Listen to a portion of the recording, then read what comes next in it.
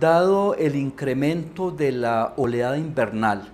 y lo que se ha anunciado por parte de las autoridades competentes de que esto va a crecer aún más, hemos estado nosotros desde la administración municipal atendiendo las diferentes emergencias. Hace poco atendimos que una oleada invernal y unos fuertes vientos que destruyeron viviendas en el corregimiento de Ochalí. Hemos entregado los materiales para la reconstrucción.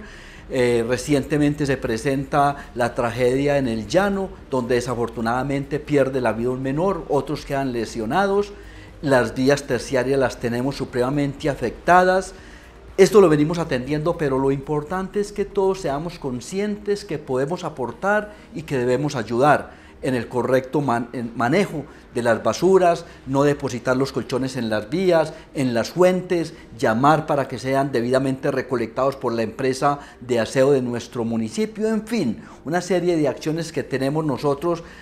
como ciudadanos para cumplir es el llamado que hacemos. Se incrementa la oleada invernal, nosotros incrementamos eh, digamos, la vigilancia, las acciones, pero necesitamos el acompañamiento de todos ustedes como comunidad para que ayudemos a ver cómo sacamos esta situación adelante. Así que estamos muy atentos, muy pendientes a recibir las inquietudes de las situaciones que se presenten, que generen algún riesgo, pero sobre todo necesitamos el buen comportamiento como ciudadanos de no taponar las, las las fuentes hídricas, no depositar las basuras en estos lugares,